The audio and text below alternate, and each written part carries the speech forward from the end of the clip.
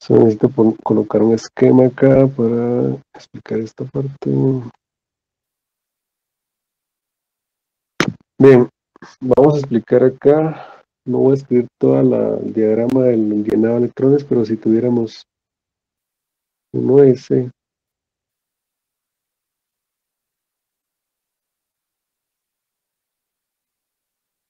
Vamos a mirar ese. Uno S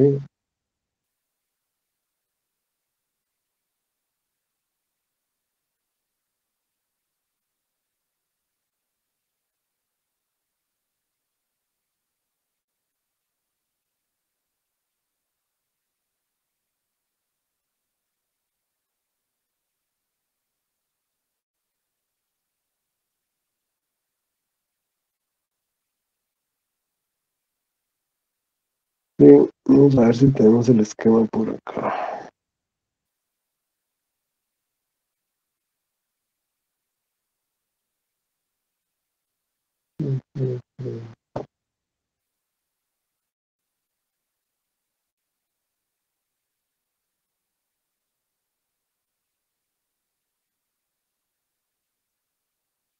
No está.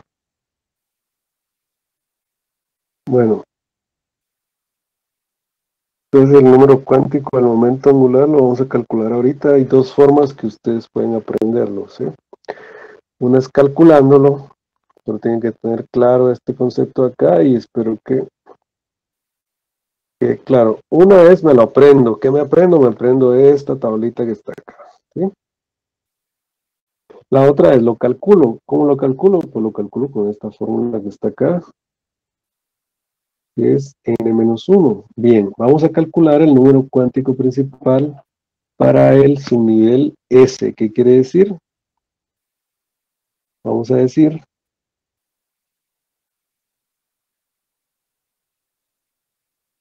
n-1. Y esto es igual a, en el esquema que yo dibujé acá arriba, este de acá, díganme ustedes cuáles eh, en qué nivel energético aparece por primera vez el orbital S.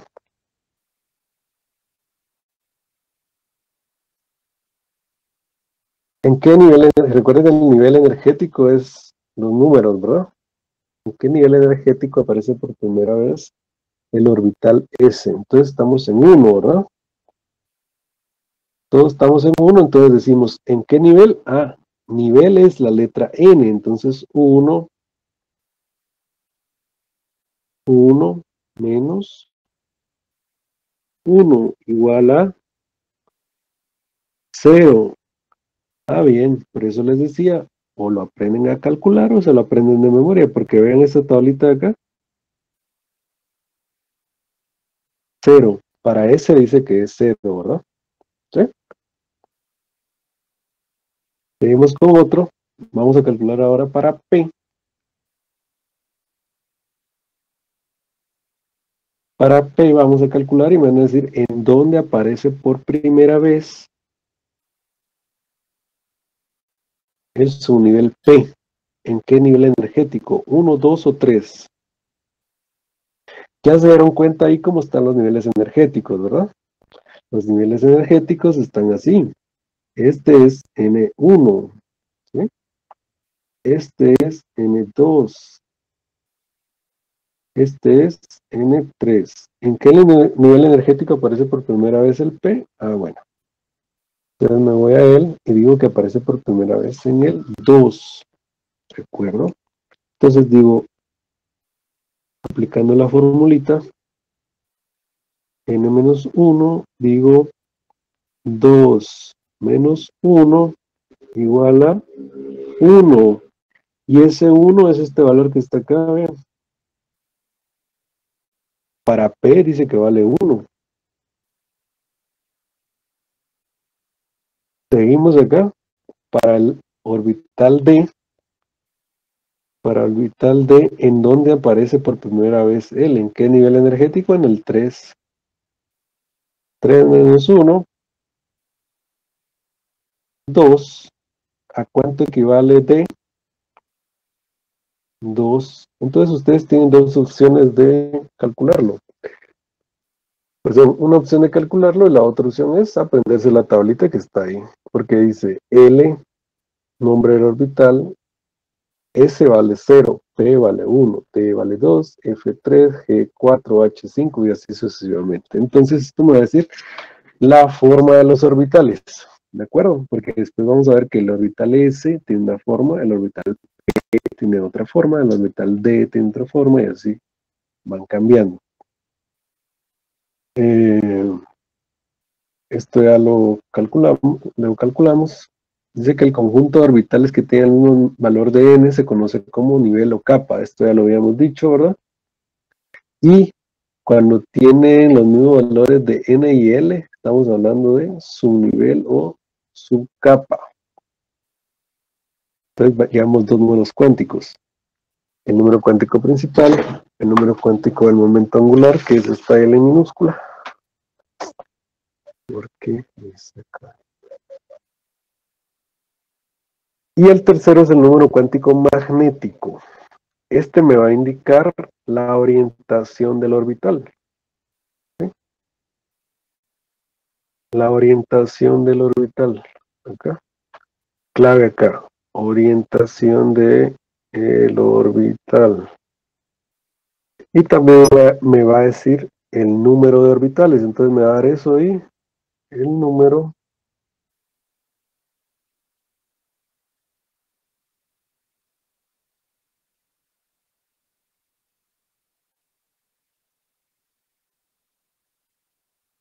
estas dos informaciones me va a dar orientación del orbital y el número de orbitales.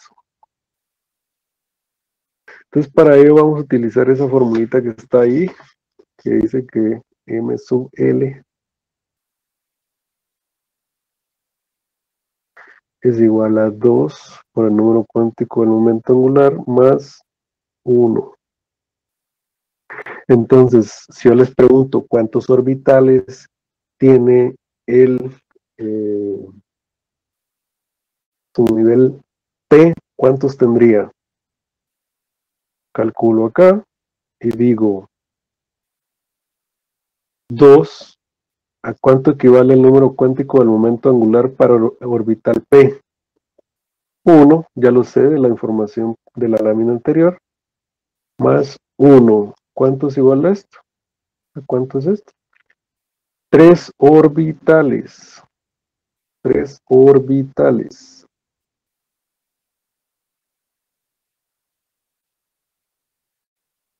Ah, bueno, entonces me está dando esta información, pero también me está dando la orientación. Entonces, para la orientación tengo que dibujarlo. Y lo dibujo acá. Y son tres, ¿verdad? Las orientaciones son las siguientes al centro es 0, a la derecha es más 1 y a la izquierda es menos 1. ¿De acuerdo? Y acá estoy cumpliendo con la orientación.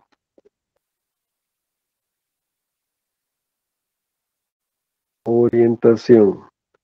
Entonces, este número cuántico del momento angular me da dos informaciones. Orientación la orientación de, los orbitales o las cajitas o los diagramas, el diagrama de orbitales que está allí, al centro es 0, orientación 0, a la derecha es orientación más 1, y a la izquierda es una orientación menos 1, pero también me da cuántos orbitales tengo, y tengo 3, 3 casillas. Así sucesivamente, aquí está el cálculo de los demás, ¿verdad? Sabemos que en el L3 Aquí le coloco 3. Estamos hablando de 7.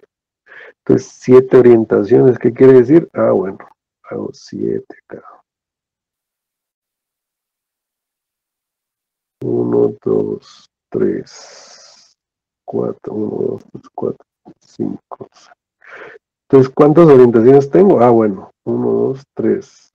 La del centro es 0. Menos 1, perdón, más 1. Aquí es más 1, vamos a ponerse aquí abajo, más 1, más 2, más 3, y hacia la izquierda es al revés, ¿verdad? Menos 1, menos 2, menos 3. Número de orbitales y me da las orientaciones. Y el último, que es el número cuántico del spin, este me va a decir el giro del electrón. Entonces el electrón puede tener este giro acá, o este de acá.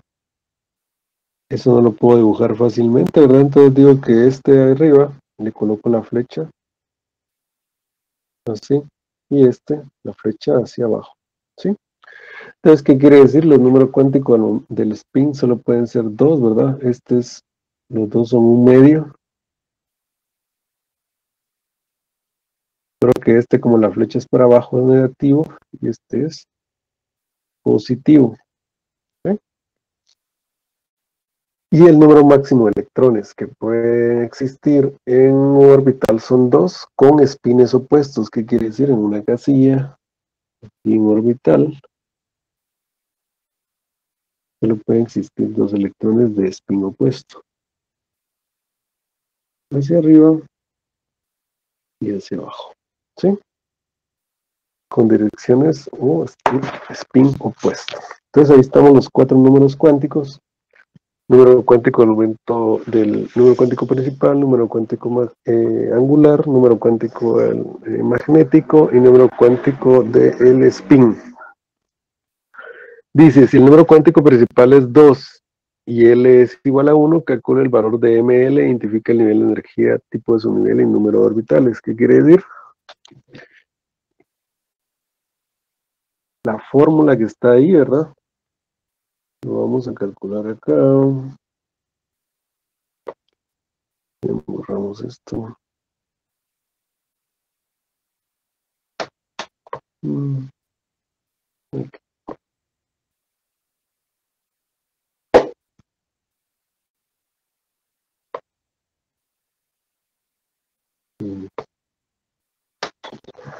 Entonces, ¿cómo lo calculamos? Ahí está en pantalla, pero vamos a calcular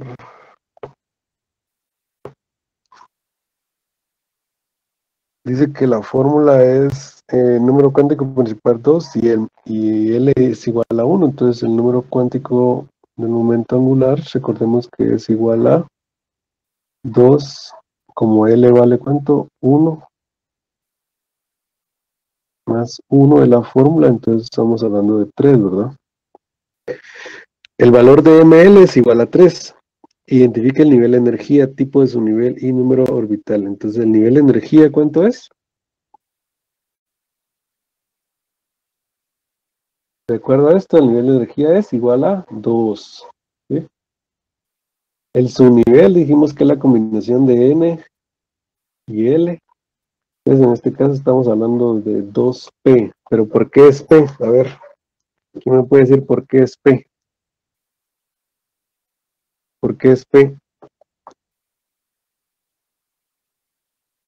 Porque P tiene un valor de L igual a 1, ¿verdad? Como dice Code. Entonces, este valor de acá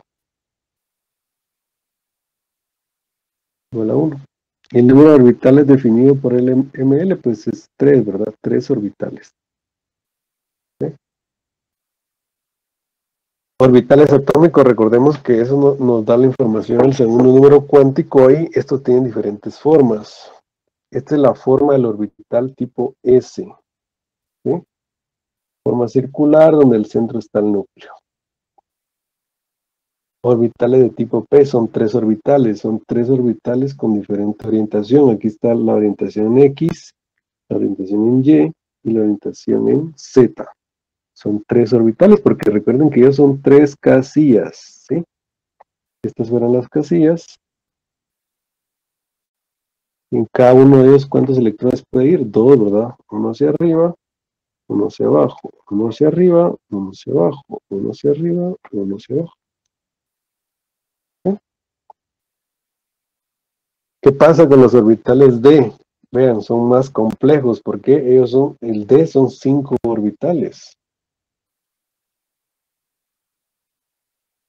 En cada uno de ellos puedes ir dos, ¿verdad? Uno hacia arriba, otro hacia abajo, uno hacia arriba, otro abajo, arriba, abajo, arriba, abajo, arriba, abajo. ¿Cuántos máximos? 2, 4, 6, 8, 10. 10 electrones.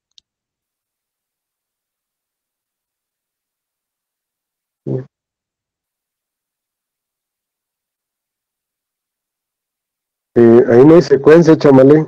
¿Qué pasó con 1?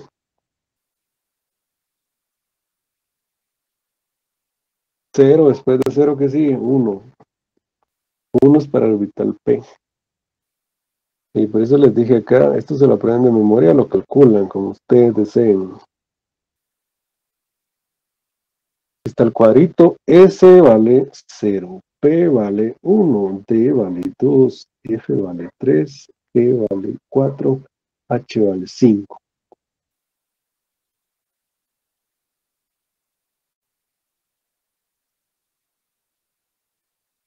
Orbitales atómicos, la forma de los orbitales, ¿verdad? Formas lobuladas. Y aquí vamos a ver energía en los orbitales. El núcleo, sumamos que está aquí abajo.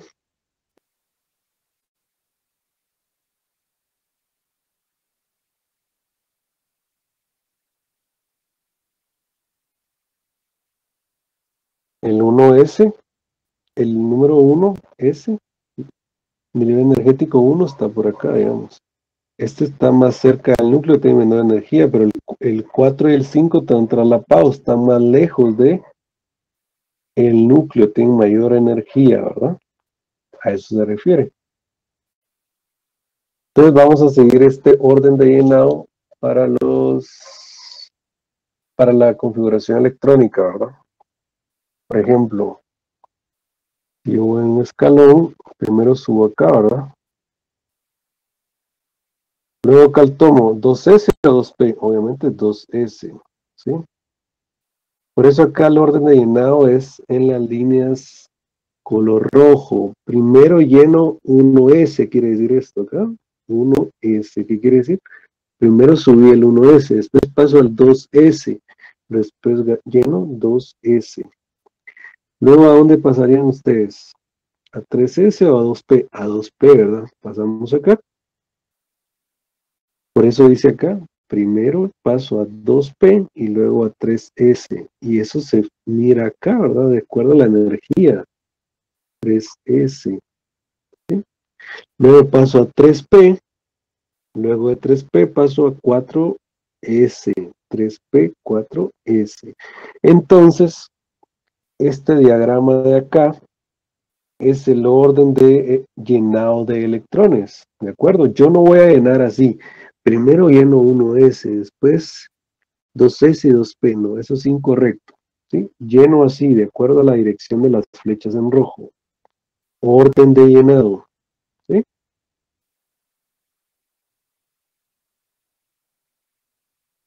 ¿Estamos bien ahí en esa parte? Orden de llenado.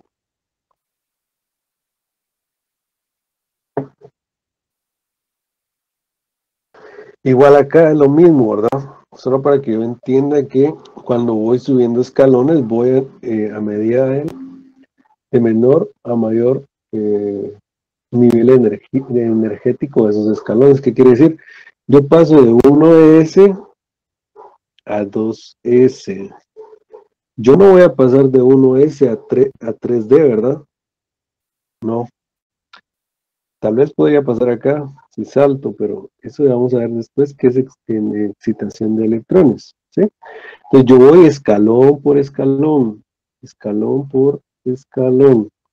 Luego 2P, veamos acá, sigan ustedes el diagrama de Moller y yo voy diciéndoles 2P, 3S, después 3P, después 4S, después 3D, 4P, 5S, 5, 4D, 5P, 4F, 5, eh, perdón, pasaría de 5P a 6S. Entonces, este diagrama de acá, 5P, 5P a 6S, ¿no? Eso es lo que está acá. Después pasa 5D, 6P, 7S, así sucesivamente. El diagrama llenado es esto porque los electrones deben de llenarse de menor a mayor energía. Eh, los cuatro números cuánticos que ya vimos sirven para identificar eh, por completo un electrón en cualquier orbital de cualquier átomo, es decir, la ubicación en el espacio, es decir, su residencia, su domicilio, donde se ubique ese electrón. ¿Sí? Por ejemplo, los cuatro números cuánticos para un electrón orbital 2s son estos. N me dice 2. L para qué tipo orbital es Couto? S, ¿verdad? Entonces coloco S. ML, ¿qué quiere decir? Ah, que solo es un orbital. Que solo es un orbital. Y MS me dice que es el spin. Entonces, si fuera 2S2 acá, ¿qué quiere decir? Que tiene dos electrones. Arriba y abajo. Entonces, el último electrón me va a decir el MS acá, este acá. Entonces, digamos que es MS. ¿A cuánto sería igual de acuerdo a ese llenado que yo hice? ¿Cuál fue el último electrón que coloqué? ¿La flecha hacia arriba o la flecha hacia abajo? Hacia abajo, ¿verdad? Entonces le coloco menos un medio.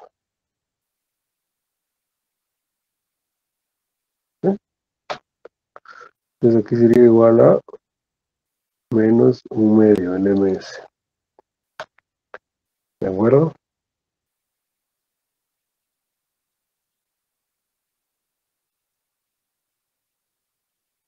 Entonces, la configuración electrónica, los números cuánticos nos van a servir para identificar el domicilio de los electrones, su ubicación en el espacio, su distribución de esos electrones en los orbitales, ¿qué quiere decir? En el espacio, ¿no?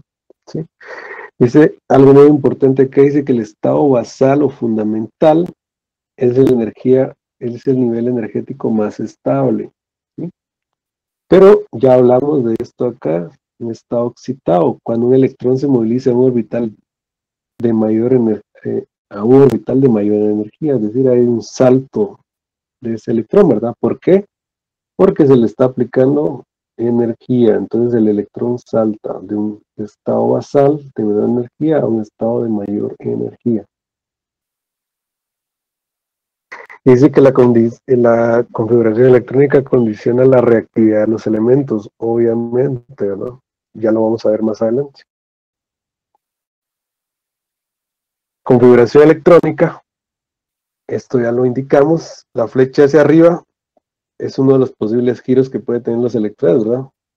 Flecha hacia arriba tiene el número cuántico del spin, sería igual a más un medio.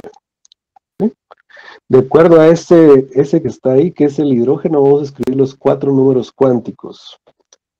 Lo vamos a escribir en esta nomenclatura acá, n, ml y ms. Bien. Eso sería igual a número cuántico principal, acá está, de este hidrógeno, ¿cuál sería? 1, ¿verdad? Número cuántico angular sería igual a, ese es 0. Número cuántico eh, del momento eh, magnético, perdón, sería igual a, calcúlelo,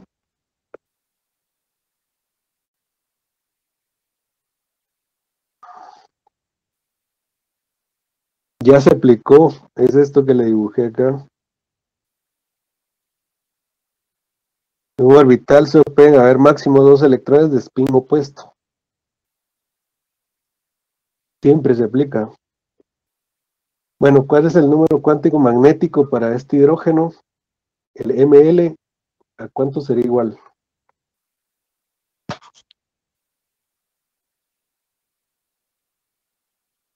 ML ml es igual a 2l más 1. Entonces, ¿a cuánto es igual ml?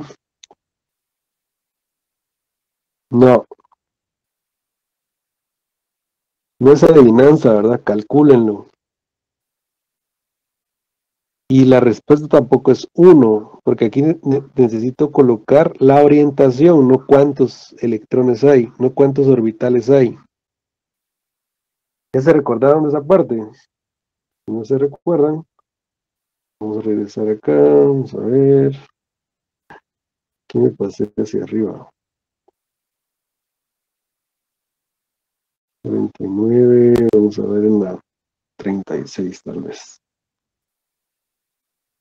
Eh, no sé, les pregunté si había quedado claro, les dije que este número acá me daba dos tipos de información. Número orbitales y orientación. Cuando se refiere al número cuántico, a mí me interesa la orientación. Entonces, ¿qué orientación tiene el orbital del hidrógeno allí en pantalla?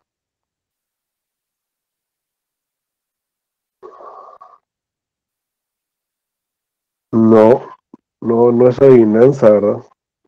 No es adivinanza. Calcúlenlo, por favor. Ya les coloqué la fórmula arriba, no, no les tengo que, tampoco, Couto, ese es el spin. Estoy viendo este de acá.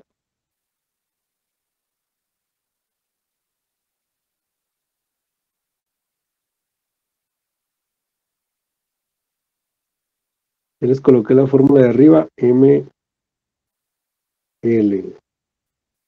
¿Cuánto vale el número cuántico angular según lo que estamos escribiendo ahí? Cero, entonces ¿cuánto vale ML? Lo vamos a escribir de dos formas. SML me da dos informaciones. Dijimos que una era ubicación.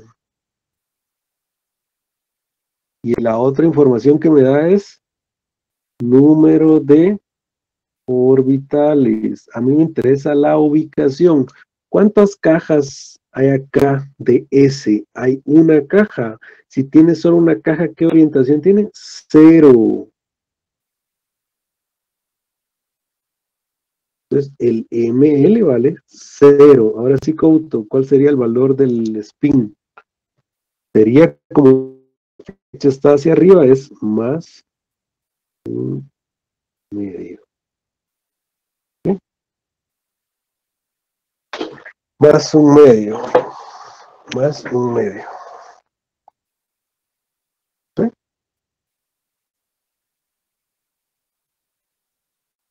Aquí estamos al principio de la discusión de Pauli, ¿verdad? El que hizo la pregunta, le dije que ya lo había dicho porque lo correcto aquí es esto. No, yo no puedo colocar un, mismo orbital espines eh, que no sean opuestos. Por ejemplo, esto de acá, esto de acá no lo puedo hacer. ¿Sí? Tienen que ser espinos opuestos y máximo dos, dos electrones por orbital. Esto está en el capítulo 7, recordándoles. Vamos a ver esto porque a veces hay cuando hay orbitales del tipo P, por ejemplo, vamos a ver cómo se ha llenado y vamos a explicar más adelante esto, pero en un ejercicio. Y la regla de Hunt es muy importante, entonces siempre les digo, no copien, no copien, no copien y no copien. Vean la pantalla cómo se hace.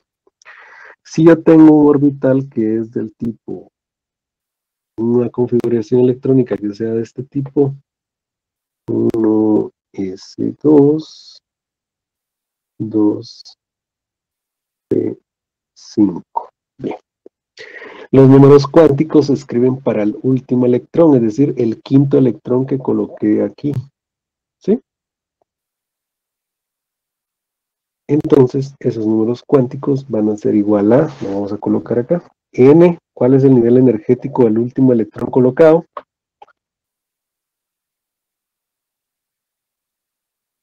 Dos, ¿verdad? ¿A cuánto equivale L del último electrón que coloqué? Número cuántico angular es igual a 1 porque es P, ¿verdad? ¿A cuánto equivale el número cuántico del de magnético? Para eso ya no lo tengo tan claro, sino que yo tengo que dibujar los orbitales. Entonces, como yo sé que es P, voy a dibujar acá los tres orbitales de P. ¿Cuántos electrones dice que tiene que tener el, el, ese orbital de tipo P? 5. Entonces, por favor, no quiero que nadie esté copiando y ve en la pantalla. Esos cinco electrones los voy a llenar de esta forma. Primero coloco todos los spines positivos. ¿Qué quiere decir? Arriba, arriba, llevo dos, tres. Abajo lo coloco todos los que tienen spin negativo. Y el que coloqué de último lo voy a colocar en color verde. Bien, el valor de ml para el orbital P, ¿qué valor tiene ml? A ver, muchachos. ¿Qué valor? No, no, no, no, no, no. En el cálculo de ML, ¿cuál es el resultado? Recuerda que ese ML me da dos resultados. Lo acabo de decir en la lámina anterior. No creo que es necesario que lo vuelva a repetir. ¿Qué informaciones no estamos ahí equivocados, ¿no? No estoy preguntando spin. ML. ML me da ubicación y número de orbitales. Por eso les digo, el ML para el orbital P es igual a 3. ¿Pero qué quiere decir 3, chamalé? De acuerdo a las dos interpretaciones que tenemos para él, ¿qué quiere decir 3? Y ML es igual a 3.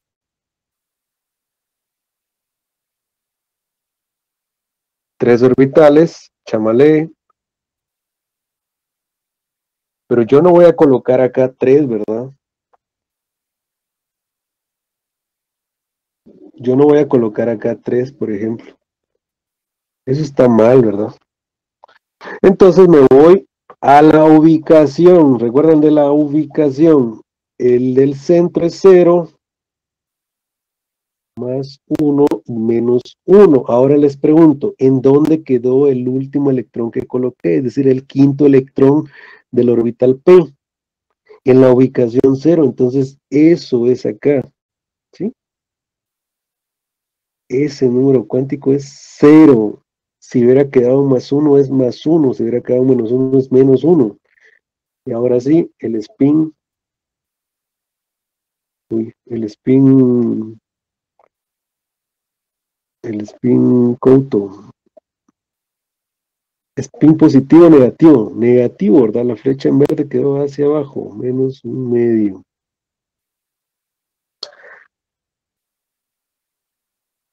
Ven, jóvenes.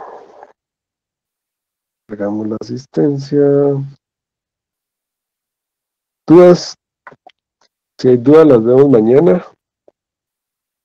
Eh, si no han leído, pues les recomiendo que vayan al libro a leer, porque ya vamos, que Con este sería el cuarto capítulo del libro. Entonces, nos quedamos ahí, jóvenes. Nos vemos eh, mañana. día. Mañana.